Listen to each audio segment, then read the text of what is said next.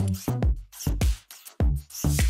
What's up my friends, Mike again, glad to have you guys back. In this video, I'm gonna go over my Ultimate Dream Setup version 2. So it's been a while since I shared my desk setup here on YouTube, but after 9 months of testing which products and configurations work best, I'm super excited to share with you guys the key changes that I made to this space that works for my needs as a full-time content creator on YouTube and Instagram. So hopefully this video will give you guys some good ideas and inspiration to improve your setup as well. Also, if you guys want to support the channel, remember to like and subscribe as that really helps me out, and without further ado, let's get get right into the video. So in my last setup, I had all the essentials I wanted, but it was a bit cluttered because I had all the computer hardware on my desk. So the first major change I had to make was to upgrade my desk with accessories from Grovemade. I'm still using the same electric standing desk by Autonomous. I've been using it for almost a year now. The motor and the electric components has been great. As you might know, I use the table for all my product shots on YouTube, so having it move up and down quickly helps a lot to speed up my filming process. To make the desk even better, I added a large desk mat to cover up the desk because the desktop underneath had a lot of scratches on it. This has a really nice matte texture finish to it, so it's really good at hiding all my fingerprints, smudges, and dust. So I'm really happy with how this worked out because I rarely have to clean it now, and it gives my desk a very new and modern look as well. And the next item on the list is this wool desk mat that I'm using for my mouse and keyboard. As you see, it's quite long, so it's useful to place additional stuff on it, like my headphones, phone, phone, iPad, or my notepad. It's really convenient because when I'm sitting in a slightly different position, I can just shift the entire mat and everything moves together, keeping my items still organized and in the same angle that I wanted. The wool material also has a lot of texture to it, so it works great as a mouse pad as well because it feels good on my hands. Moving along, the next thing that I added was this desk shelf. This is one of the most important additions to my desk. The wall at the top gives it a very natural and warm look to the desk and really elevates my entire setup. As for function, the shelf can act as a speaker stand, keeping my speakers at a higher level close to my ears. I can leave my iPad on it, so it's like an iPad stand as well, and it also has a lot of compartments for storage. On the right hand side, there's a sliding tray that houses all my essentials. I can also hide the keyboard underneath the shelf so that I can free up more space for other uses. So using this shelf is great because I can access a lot of things at arm's reach. And on the other side, my Mac Mini is also hidden well underneath the shelf so it hides all the cables and wired mess behind it. And moving along, let's talk about the new tech that's on the desk. For the monitor, I've been using a 34-inch ultra-wide monitor by BenQ. This is specifically designed for digital content creators. It has a lot of useful color profiles and it comes with a super adjustable stand and a built-in KVM switch. This allows me to switch between different computers without needing to unplug my mouse, keyboard, and speakers, which is super useful. Anyways, I love the ultra-wide screen. It's like having two screens in one. It's also super useful using three windows as well when I'm researching, scripting, or editing videos. And to achieve a cleaner floating screen kind of look, I've mounted the monitor on a monitor arm by Autonomous. It works great because it can hold the weight of this ultra wide screen and I can easily adjust the screen to move farther back or closer to my face. And as you can see on the monitor arm, this is where I mount multiple lights and my cables as well, which I'll be showing you guys how I do my cable management in just a bit. And by the way, I am using the BenQ Screen Bar Plus on my monitor. When I turn it on, it highlights the wood on the desk shelf and it provides a lot of light for me to read. So I love how this light doesn't take up any space at all and it just makes my entire setup glow.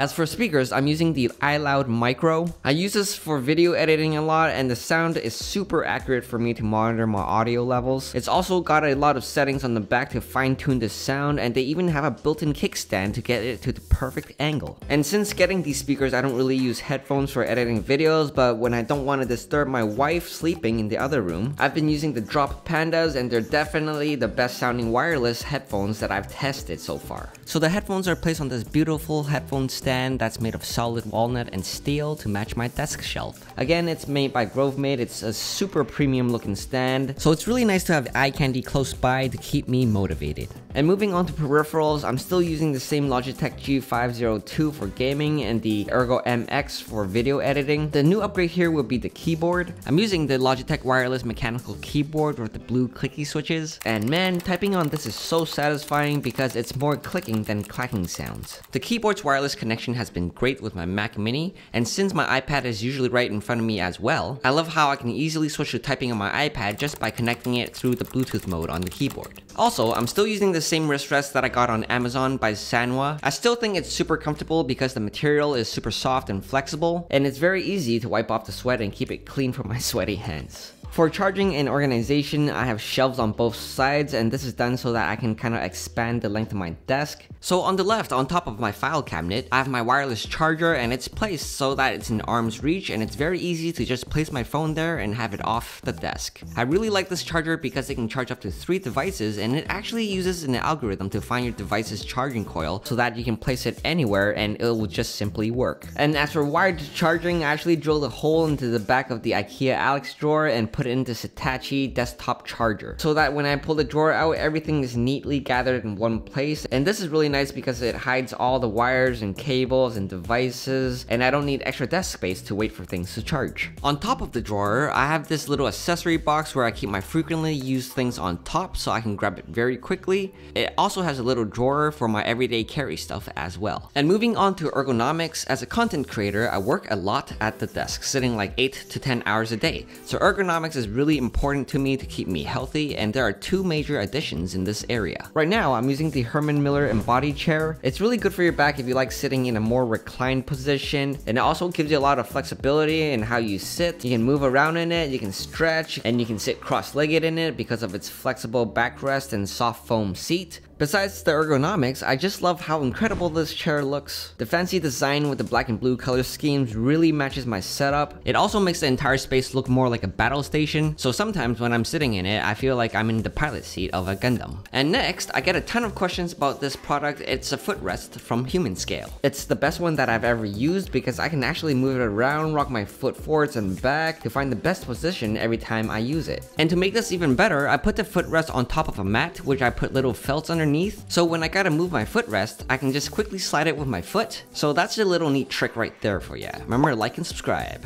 And onto the cable management. So this is something I get asked a lot as well. So the trick to all of this is to just not be able to see any cables when you're looking at your setup in the front. The most important thing to note is that with a standing desk, you only want one cable coming out to the power socket, so that's why using a long extension power cable is really important. So to do this, I had to work with the monitor monitor first. I hid most of the cables along the back of the monitor arm. And under the desk, I'm using a long metal cable tray from Autonomous that's made specifically for this desk. After I plug everything in, I just stuff all the extra cables inside the tray. And as for finishing touches, I do use extra cable ties to bunch up the loose wires that I see here and there to get a cleaner look. So just keep in mind that it doesn't have to look perfect from the back, but just make sure they're hidden well enough so that you can't see it from the front. I also stuffed the extra length of the extension power cable in the tray and left just enough for the desk to move freely up and down. So most of the cable length is hidden by that cabinet anyway, so I think this is the simplest way to get the cleanest look. So if this is something you haven't worked on yet, it's definitely worth investing the 10 or 20 minutes to hide your cables. I think it's gonna make a massive improvement for most setups. And next, to add more personality to the room, I added posters on my favorite things. I have one of Tokyo, Japan, it's my favorite place on earth, and I have another poster of Demon Slayer. It's like one of my favorite animes that you can watch on Netflix. These are actually metal posters from Displate. They are magnetic, so installing it was super easy. All I had to do was install the magnet stickers on the wall and simply just stick the posters on. I love this installation process because I can get the frames to the perfect angle without much fuss and it's also super secure. I'm pretty surprised the magnets can hold up the weight of these metal frames. The added bonus here is that when my standing desk goes up, you can actually see the light shining on it and it gives the posters more color, more vibrancy, and kind of brings it to life.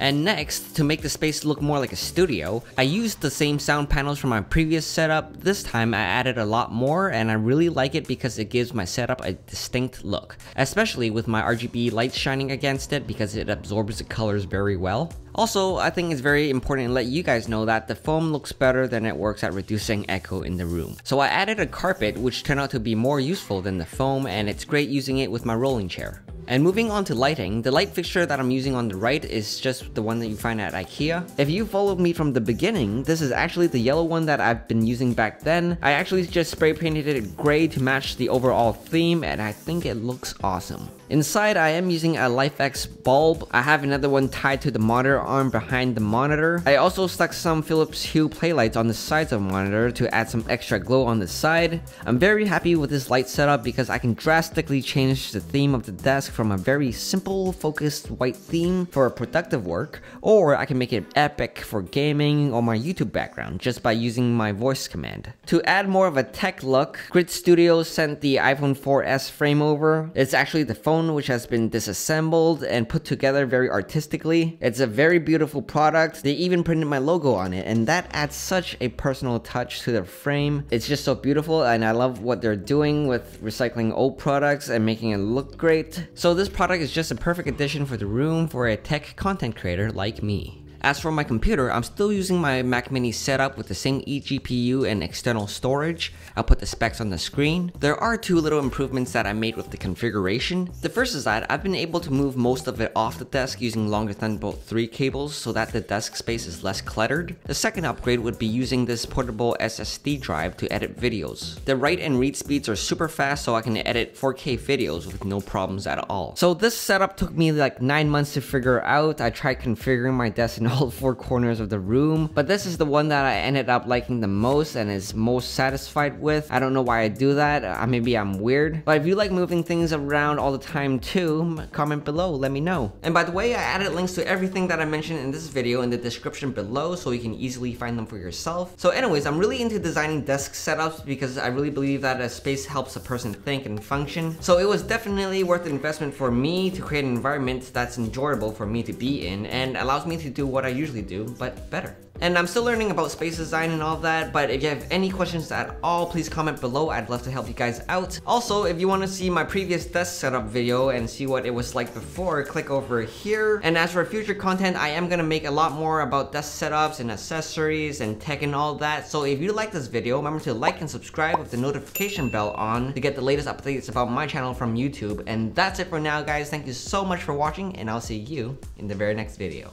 Bye.